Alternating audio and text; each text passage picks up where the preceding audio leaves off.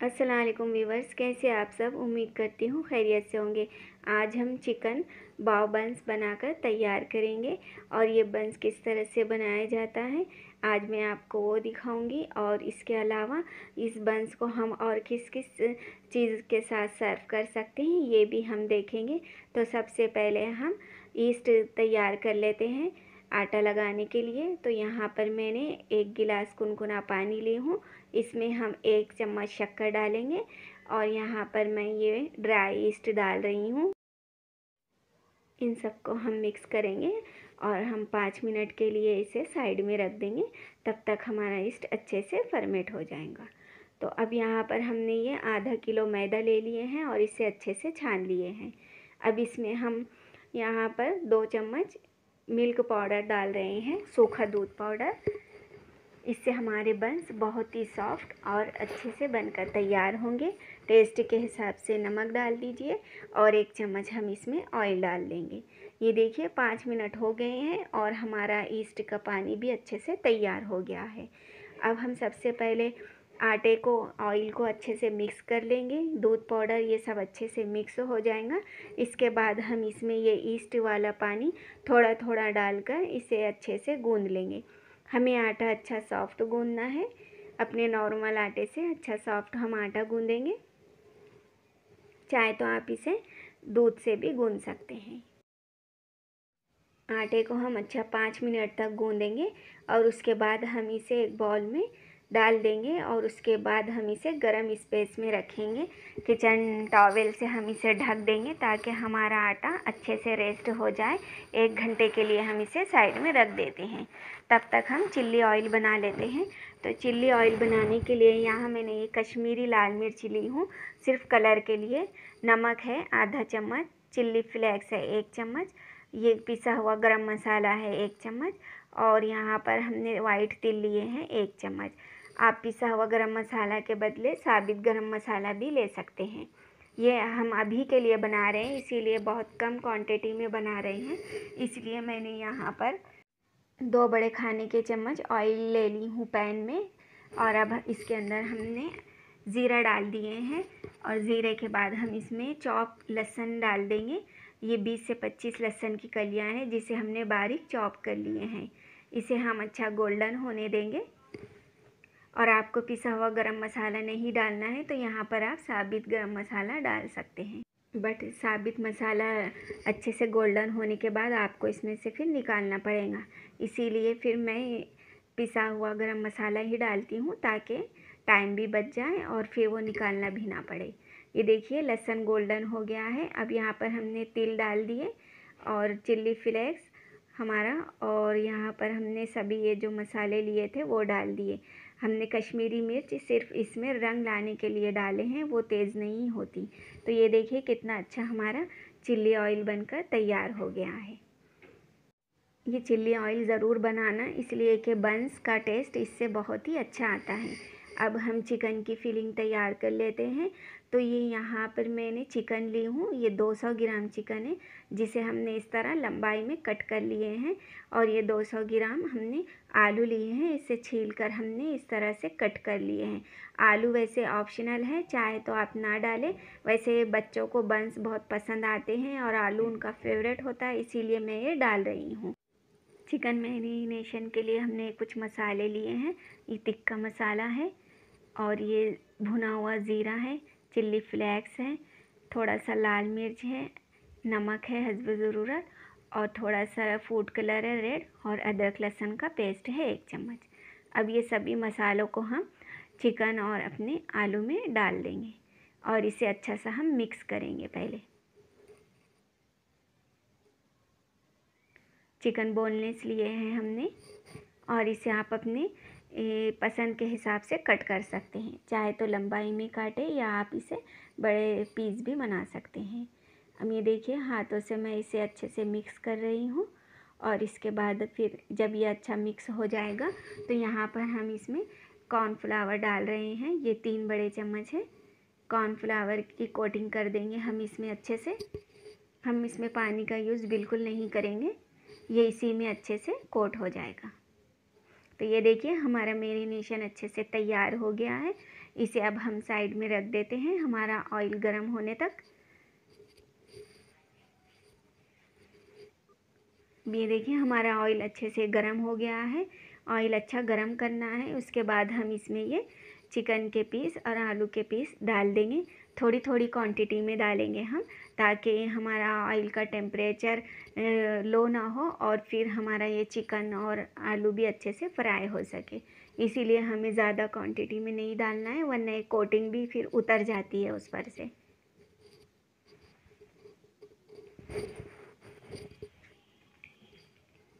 Chicken को हम अच्छा सा पकने देंगे। हमें हाफ़ नहीं पकाना है, बल्कि पूरा ही कुक करना है चिकन को इसमें। इसीलिए बिल्कुल, हम इसे अच्छे से, चमचा हिल से चलाते हुए पकाते रहेंगे। तीन से चार मिनट में हमारा चिकन अच्छे से फ्राई हो जाएगा।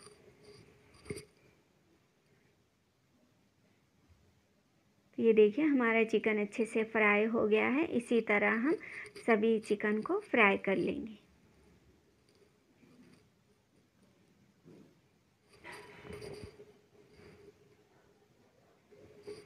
इस बंस में हम चिकन की स्टफिंग लगा रहे हैं। आप अपनी पसंद के हिसाब से वेजिटेबल वड़ा, जिस चीज़ के भी चाहे स्टफिंग इसमें कर सकते हैं। ये बन सभी के साथ में बहुत अच्छे लगते हैं। तो ये देखिए हमारा आलू और चिकन कितने अच्छे से हमने फ्राई कर लिए हैं। अब हम इसे साइड में रखते हैं और अब हम आटा चेक कर लेते हैं किस तरह से हमारा आटा तैयार हुआ है। तो माशाल्लाह से देखिए कितना अच्छे से हमारा आटा बनकर रेडी हुआ है। अब हम इसमें जितना भी एयर भरा है उसे निकाल देंगे और पाँच से छः मिनट इसकी अच्छे से मालिश कर लेंगे, मसल मसल कर इसे और हम बराबर से तैयार करेंगे। आटे का बस, बंस के लिए यही है कि हम आटा बहुत अच्छे से तैयार करें तो हमारे बंस भी बहुत ही सॉफ्ट और नरम और जालीदार बनकर तैयार होते हैं। तो आटे का मैंने पूरा उसमें से एर निकाल ली हूँ और इसे अच्छे से हमने मालिश कर लिए हैं। अब यहाँ पर मैंने उसमें से थोड़ा सा आटे का एक पेड़ा ली हूँ, इसे हम बेल लेते हैं। देखते, देख सकते हैं आप, आटा हमारा कितना अच्छा सॉफ्ट हुआ है। एक घंटे का हमने इसे रेस्ट दिए थे। अब इस तरह के एक बड़े हम कटर से या जो भी चीज़ आपके पास है और जो साइज़ आपको चाहिए, उसके हिसाब से हम इसे कट करेंगे। तो मैं यहाँ पर इस साइज़ का काट रही हूँ। आपको इससे बड़ा बनाना है, छोटा बनाना है, आपके पास जो साइज़ अवेलेबल है, आप उससे कट कर लीजिए। तो ये देखिए, हमने इसे कट कर लिए हैं और इसकी थिकनेस देख सकते हैं आप। हमने इसे ज़्यादा पतला नहीं बेले हैं, ना ज़्यादा हमने इसे जाड़ा रखे हैं। आप इसे छोटा छोटा एक लोई बनाकर भी बेल सकते हैं, बट उसमें टाइम बहुत जाता है, इसलिए मैं इसे इस तरह से कट करके बनाती हूँ।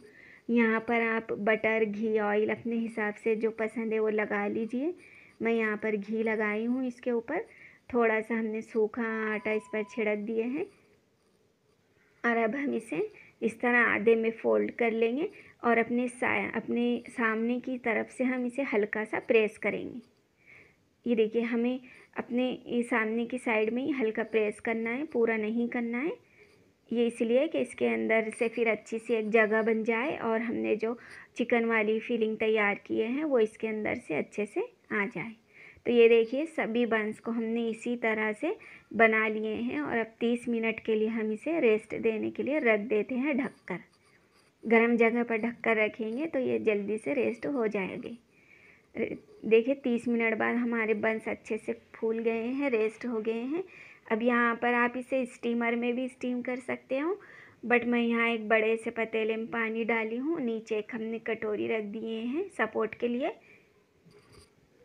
बड़ी प्लेट रखे हैं और बड़ा बर्तन लिए हैं तो हमारे ज़्यादा बंस स्टीम होंगे, इसीलिए मैंने इस तरह का बर्तन ली हूँ। अब कॉयल पेपर से मैं इसे अच्छे से कवर कर रही हूँ, ताकि भाप इसकी बाहर ना आए और ये अच्छे से स्टीम हो जाए। हमें पंद्रह मिनट के लिए इसे स्टीम करना है और इस तरह से फिर हमारे बंस बहुत ही अच्छे सॉफ्ट बनकर तैयार होंगे। पंद्रह मिनट बाद हम इसे चेक कर लेते हैं।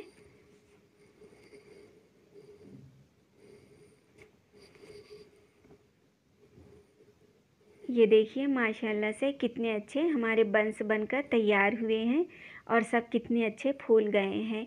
और ये सॉफ्ट भी देखिए कितने बने हैं। बिल्कुल इसका एकदम वज़न भी बहुत ही हल्का हो गया है और बहुत ही नरम नरम हमारे ये बंस बनकर तैयार हुए हैं। तो अब हम इन सभी बंस को निकाल लेते हैं और अब हम दूसरा बैच भी इसी तरह से स्टीम कर लेंगे।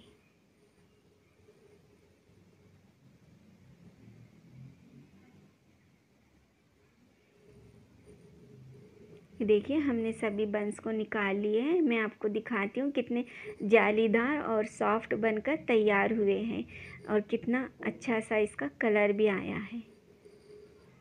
देखिए, कितने अच्छे से जाली बनी है इसमें। और खाने में तो क्या ही बताऊँ, बहुत ही मज़ेदार बंस हमारे ये तैयार हुए हैं। अब चलिए, हम इसमें स्टैफिंग लगा देते हैं। सभी में हम स्टैफिंग अच्छे से भर देंगे। तो सबसे पहले हम इसमें चिल्ली ऑयल लगाएँगे। चिल्ली ऑयल भी इतना टेस्टी बनकर तैयार हुआ है ना, आप इसे ज़रूर बनाना जब आप ये बंस बनाएँ। आप अगर चिकन के बंस बना रहे हैं तो ये चिल्ली ऑयल ज़रूर बनाना और आपको वेजिटेबल या वड़े के साथ बनाना है तो आप ग्रीन चटनी, टमाटर, केचप उसके साथ भी इसे सर्व कर सकते हो। बट चिकन के साथ तो ये चिल्ली ऑयल बहुत ही टेस्टी लगता है। तो अब देखिए, हम इसके अंदर जितनी स्टैफिंग आएँगी, हम वो सब भर देंगे इसमें। वैसे ये दिखने को बहुत छोटे होते हैं बंस मगर इसमें अच्छी खासी स्टैफिंग जाती है।